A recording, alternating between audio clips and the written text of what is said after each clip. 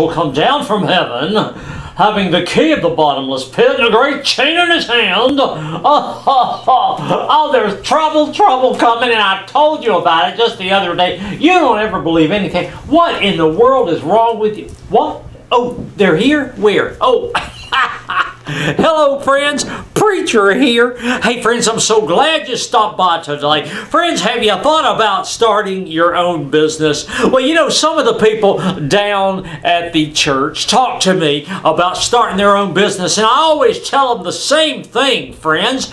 You can start your own business, and you can have a fantastic fantastic residual income from this business. Friends, you should fire your boss. That's what I'm saying, friends. Go ahead and do it today. Fire your boss. Now, you can learn more about this great opportunity by joining me at this powerful webinar. Just go to www.peartreesmarketing.com slash webinar dash US. Friends, that's peartreesmarketing.com slash webinar dash US. Friends, go there today.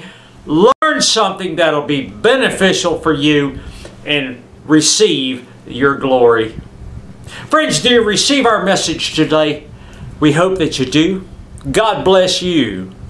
Amen. Amen.